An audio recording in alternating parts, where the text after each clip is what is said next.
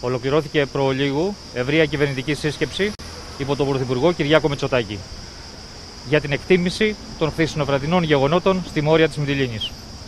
Με εντολή του Πρωθυπουργού, στο νησί μεταβαίνει κυβερνητικό κλιμάκιο με τον Υπουργό Μετανάστευσης και Ασύλου, κ. Νότι Μεταράκη, τον Υπουργό Εσωτερικών, κ. Τάκη Θεοδωρικάκο και τον Πρόεδρο του ΕΟΔΗ, κ. Παναγιώτη Αρκουμανέα, οι οποίοι μετά την επιτόπια εκτίμηση της κατάστασης θα παραχωρήσουν κοινή συνέντευξη τύπου στις 6 το απόγευμα στη Μυτιλίνη.